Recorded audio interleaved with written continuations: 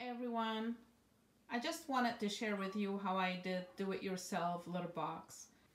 So I'm gonna go ahead and open the little box and show you step by step how I did it. I'm not gonna just make a cutting and make a new one, but hopefully you'll understand because there's a lot of helpful hints out there to show you to start up how to make these boxes, but I'll just show you my edition. Okay, let's get started. Okay, I just flipped it so the lighting will be better. As you can see, I have my old little box because we just did it yesterday.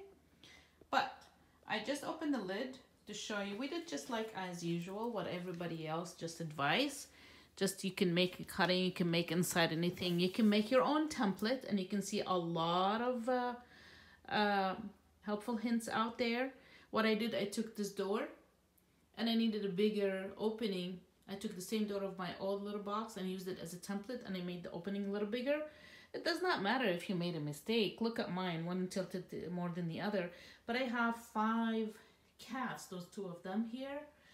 And they really use a lot of the little box and I really need, really need a space because most of the dirts will be outside. If you can see here, I'm not sure if the camera shows you, like most of the pulpus is outside and everything now, it'll be a lot cleaner. So what I did, I made the cutting, I made the opening. I saw one of the ladies, she did the hole all the way up to here. So made a complete opening, but she did not use this part. I asked my husband to go ahead and buy a little cat, you know, cat door. We wanted to install it, but it's a lot of hassle. So I made him return it.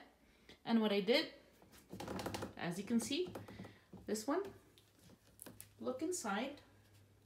I found uh, the kebab screw actually. We had an extra one. I don't need. I broke the wooden part and I got attached those plastic attachment. And I made my husband drill a hole in here. One hole from here and one hole from the other part. And and then after that so made an extra hole from here. That's better. And we run the attachment all the way inside so the cats will not chew on it if we tied it from the outside.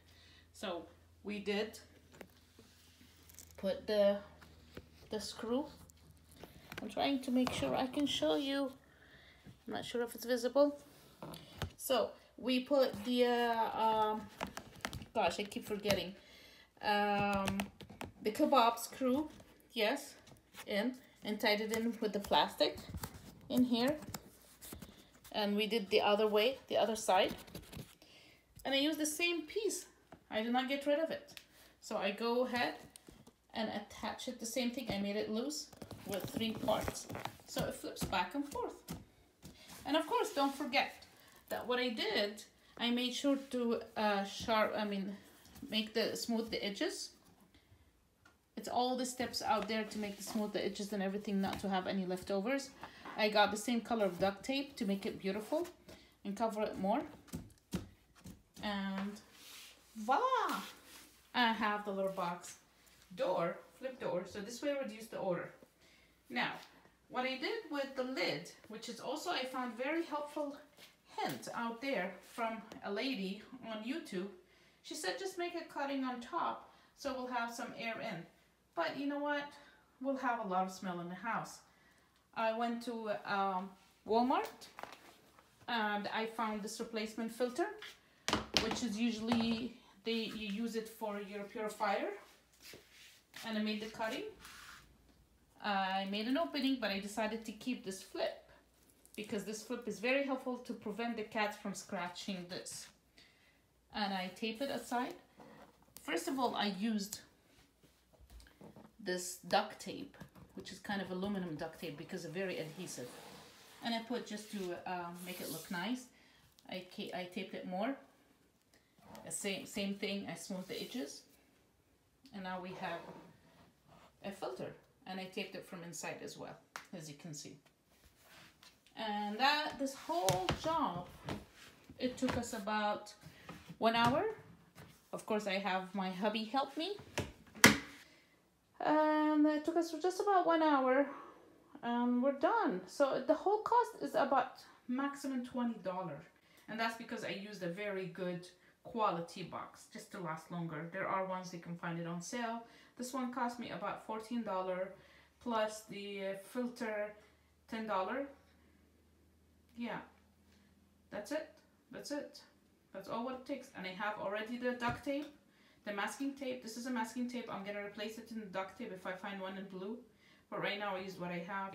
So I hope that was helpful for you because it's always like, oh my God, I kept searching and it's really hard to find a complete job for the little box. And I did not like the idea just open and make an opening and then everybody sees the poops to the outside and the cats go in and out. I wanted something more private and I did not want those clear boxes because if it's if it's good for them, it's not good for us to see all the poop around because it's in my laundry room as you can see and my kitty eats here and I'm so happy they already used it right away and look all this poop came out from this. I thought they were gonna use this but they were happy and they used it.